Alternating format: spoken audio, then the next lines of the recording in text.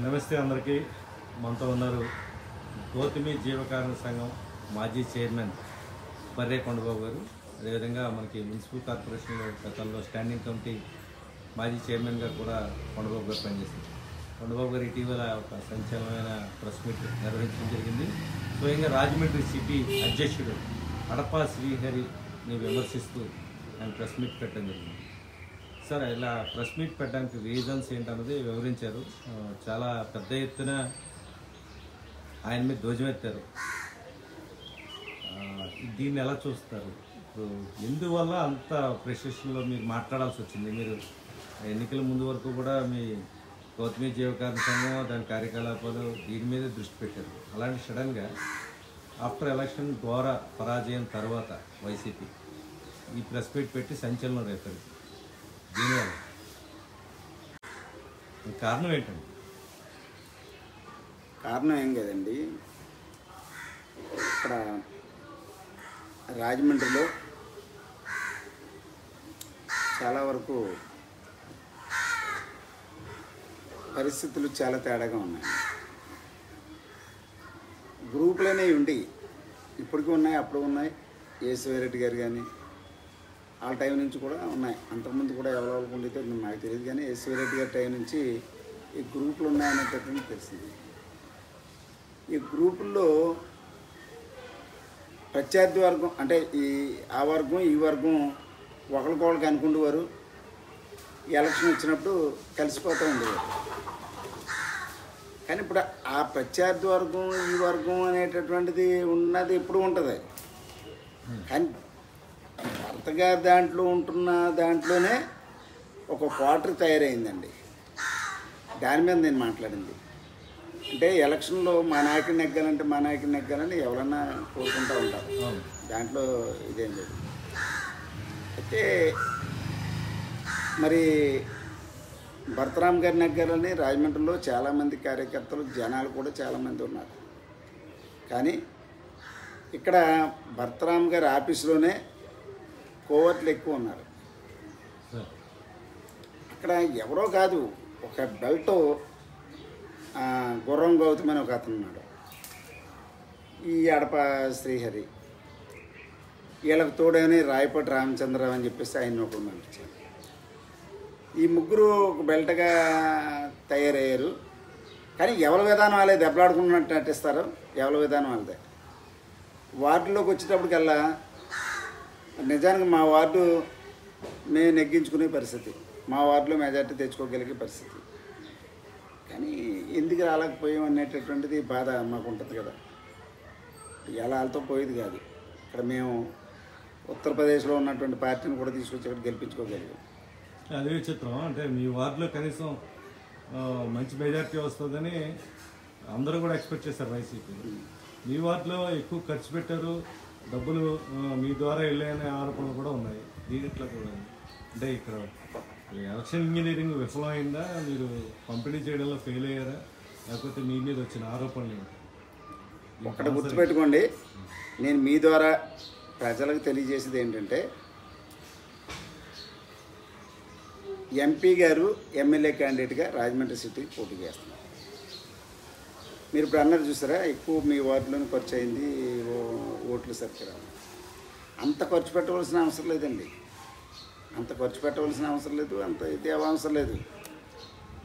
కానీ ఒక్క రూపాయి అంటే ఒక్క రూపాయి ఆరోపణలు చేసిన వాళ్ళు ఎవరైనా సరే ఒక్క రూపాయి అంటే ఒక్క రూపాయి ఓటు కొనమని కానీ.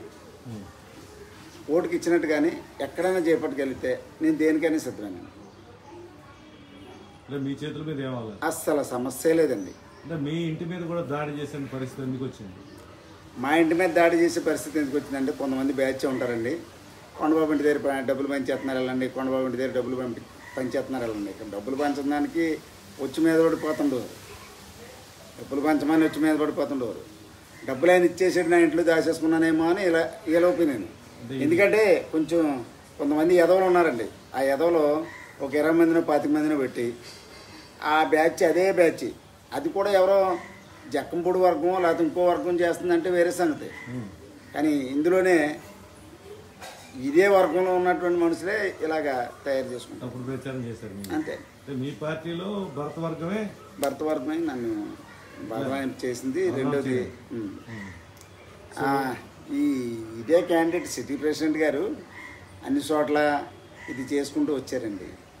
మరి ఆయనకి ఏ ఆఫర్ ఉందో ఏముందో లేకపోతే ఎలా ఉందో నాకైతే తెలదు. నేను చూడడం దానికి నేను అనలేను. ఆయన పలానా దాంట్లో ఈ నెల కుమ్మకాయడని చెప్పడానికి నా దగ్గర ఆధారం ఉంటే ఖచ్చితంగా చెప్తాను. కానీ ఒకటి మాత్రం ఆధారం నేను చెప్పగలుగుతాను. మా వార్డులో భర్త గారి తెలియకుండా నాకు తెలియకుండా వేరే పార్టీ వాళ్ళని ఏజెంట్లుగా వేశారు. అప్పుడు ఎవరికి అనుకూలం? అంటే మా వార్డులో పట్టుకున్నాం నా దగ్గర సాక్ష్యాధారాలతో సహా ఉన్నాయి. ఇతను మేనల్డే పెట్టాడని చెప్పేసి డైరెక్ట్గా పేరు చూపించారు. హరి మేనల్డే మాకు తెలియకుండా మేము వైఎస్ఆర్సీపీ ఏజెంట్లు మేము పెట్టాం. తను మాకు తెలియకుండా ఆయనకి కూడా తెలియకుండా వేరే పార్టీ వాళ్ళని మాకు ఏజెంట్లుగా పెట్టారు. పట్టుకున్నాం మేము. పట్టుకుని మాట్లాడాం. సో జరిగింది. నెక్స్ట్ అయితే ఇక్కడ మీకు ఒక క్లారిటీ ఇవ్వాలి. జనాలు కూడా మీ ద్వారా ఇచ్చేది ఏంటంటే భరతరామ్ గారు ఇక్కడే ఉన్నారు. నేనే ఇక్కడే ఉన్నాను. ఎప్పుడైనా సరే ఎక్కడైనా సరే ఒక ఓటు అంటే ఒక ఓటు కొనండి అని ఒక్క రూపాయి ఇచ్చినట్టయితే నేను దే ఏమైనా చేయించుకుంటాను ఒక్క రూపాయి ఆయన ఓటు కొనని. పోనీ ఆయన డైరెక్ట్గా ఇవ్వకపోతే అక్కడ గుర్రం గౌతమ్ అన్న అతను ఉన్నాడు. అతను డైరెక్ట్గా డబ్బులు మెయింటైన్ అతను చేసుకున్నాడు. లేకపోతే అతను పోల్ మేనేజ్మెంట్ అతను చేసాడు ఏదో జా- పడ్డారు లేకపోతే పెత్తనం అతని మీదకి వెళ్ళింది. అతను కానీ సిటీ ప్రెసిడెంట్ కానీ రాయపాటి రామచంద్ర కానీ లేక భర్త గారు సొంత మనుషులు అనుకున్నవాడు ఎవరైనా సరే ఉండి ఆయన ద్వారాగానే సరే నాకు పంపించింది పది ఓట్లు కొనండి నేను ఎక్కడైనా ఇచ్చినట్టయితే అది నేను దేనికైనా సిద్ధపడతాను. ఒక ఓటు కొనమని ఆయన ఇవ్వలేదు ఒక ఓటు నేను కొనలేదు. ఇది ప్రచారం మాత్రం ఈ రకమైన ప్రచారం జరుగుతూ ఉంటుంది అంతే వనబాబు గారు ఇప్పుడు ఇటీవల ఎన్నికలు ముగిసాయి ఫలితాలు వచ్చిన తర్వాత శిలాపలకాల మారంపూడి ఫ్లైఓవర్ సంబంధించి విధ్వంసం జరిగింది. విధ్వంసం జరిగిన తర్వాత మళ్ళీ పాత శిలాపలకాలు కొత్త శిలాపలకాలుగా మార్చి అంతకుముందు మురళీమోహన్ గారి టైంలో మీరు పగలగొట్టారని ఆ తర్వాత భరతరామ్ గారి టైంలో ఈయన పెట్టుకున్న శిలాపలకం మా వాళ్ళు పగలగొట్టారు కాబట్టి మేము పెడుతున్నామని చెప్పి. మళ్ళీ పెట్టడం జరిగింది. ఆ పెట్టిన సందర్భంగా ఆదిరెడ్డి అప్పారావు గారు మాజీ ఎమ్మెల్సీ తీవ్రమైన పదజాలంతో భరతరామ్ మీద దుమ్మెత్తి పోసారు ఆరోపణలు కానీ విమర్శలు కానీ ఒక రేంజ్లో ఆయన అటాక్ అవ్వడం జరిగింది. దాని తర్వాత దాని మీద మీ పార్టీ రియాక్షన్ అంతే స్థాయిలో ఉంటుందని భావిస్తే మీ సిటీ ప్రెసిడెంట్ కడప శ్రీహర్ గారు ప్రెస్ మీట్ పెట్టడం జరిగింది. కానీ ఆయన చాలా దాన్ని ఏమంటారు? చప్పగా ప్రెస్ మీట్ సాగింది అనే సంకేతాలు పార్టీ వర్గాలు చెప్తాయి ఎంతవరకు కరెక్ట్ ఇట్లా ఏ స్థాయిలో దాన్ని తిట్టుకొట్టాల్సిన అవసరం ఉంది? మీరు ఎందుకు రియాక్ట్ కాలేదు? ఇప్పుడు అదే మా సిటీ ప్రెసిడెంట్ గారు ప్రభుత్వం అధికారంలో ఉంటుండగా మీరు మేము సత్సంబంధాలు కలిగి వెళ్దామంటే అది వేరేగా ఉంటుందండి. ప్రభుత్వం ఎదటోళ్ళు వచ్చినప్పుడు మీతో మంచి రాజీకి వస్తాం అని చెప్పడం ఆ ప్రెస్ మీట్ పెట్టకపోయినా బాగుండేది. ప్రెస్ మీట్ పెట్టకపోయినా బాగుండేది. పెట్టిన తర్వాత బతిమాలనుడు బతిమాలుకోవడానికి ప్రెస్ మీట్ పెట్టినట్ట. లేకపోతే రేపు పొద్దున్న ఆయన్నే తిడుతున్నారు మళ్ళీ నన్ను కూడా ఎప్పుడైనా తిడతారా లేకపోతే నా మీదకి ఏమైనా వస్తారా అని చెప్పేసి బతిమాలుకుంటున్నాడా? నాకైతే అర్థం కాలేదండి. ఇతను ప్రెస్ మీట్ పెట్టిన తర్వాత చాలామంది మీరు అడిగిన ప్రశ్న నన్ను చాలామంది అడిగారు. మీరు ఎందుకు రాలేదని అడిగారు. రెండోది ఏంటి ప్రెస్ మీట్ పెట్టడం పెట్టకపోయినా బాగుండేది కదా అని మా పార్టీ వాళ్ళు కూడా మమ్మల్ని అడిగారు. అయితే ఏంటంటే వీళ్ళకి కొన్ని వ్యవహారాలు ఏవి ఉంటాయండి? ఎవరో మా పార్టీలో ఉన్న వాళ్ళైనా ఇంకోళ్ళైనా ఉంటారు. ఉన్నప్పుడు ఆ రేంజ్లో అధికారంలో ఉంటుండగా మీరు మేము సత్సంబంధాలు కలిగి వెళ్తాం అభివృద్ధి గురించి ఎవరైనా పాటుపడదాం ప్రజల కోసం పాటుపడదాం ఇలాంటి మాటలు అనుకోకూడదు. ఇవన్నీ ఏదైనా మాట్లాడితే వేరే సంగతి.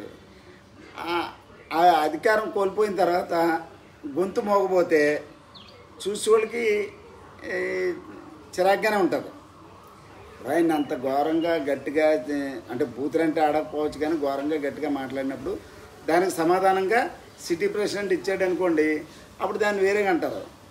ఈయన బతిమాలుకోవడానికే పెట్టాడు ఆ ప్రెస్ మీట్. ఎందుకంటే రేపు పొద్దున్న నా నా లెక్కల బొక్కలన్నీ గెలుగుతానన్నారు ఎందుకంటే బాబు మీకు దాన్ని నా నన్ను వదిలేయండి అన్నట్టుగానే ఈయన పెట్టినట్టు ఉంది కానీ ఇంకోటి కాదు.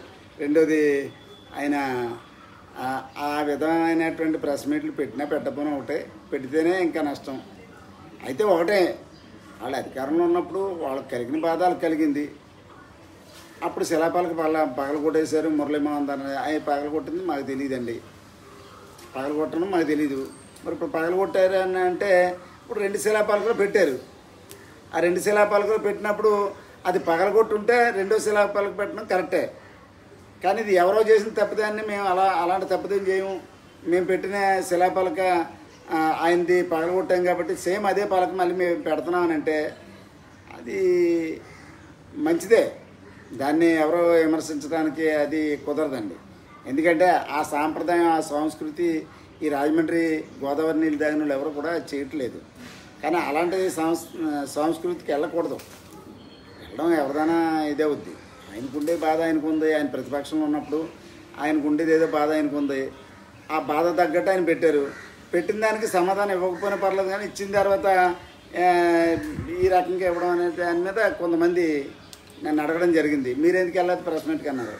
నేను చెప్పాను కదండి నిన్న ప్రెస్ మీట్కి వెళ్ళినాడు కానీ ఇంకోటి వెళ్ళినాడు ఆ ప్రెస్ మీట్కి నన్ను పిల్లలేదు నేను వెళ్ళలేదు. ఒకటి ముందు రెండు రెండు ఒకటి ఎస్పీ దగ్గరికి వెళ్ళింది ఇంకోటి ఎంపీ గారే మన మార్గాన్ భర్తరామ్ గారే పిలిచారు.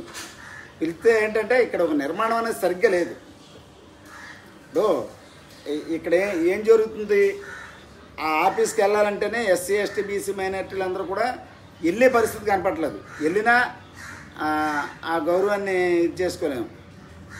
తన మాట్లాడే విధానం కానీ తన చేసేటటువంటి పని కానీ అక్కడ ఒక బ్యాచ్ ఉందండి. అతను ఒక్కడనే అనేదే కాదు కానీ ఓ బ్యాచ్ ఉంది. ఆ బ్యాచ్ పక్క తప్పుకుంటేనే కానీ పార్టీ బలోపేతం అవడం అనేది జరగదు. సార్ ఇప్పుడు భరత్రామ్ గారు రాజమండ్రిలో అభివృద్ధి చేశారు లేదా? ఆయన అభివృద్ధి మంత్రం ఫలించలేదనుకోవచ్చా? లేకపోతే అభివృద్ధికి జనం ఓట్లేయలేదని భావించవచ్చు?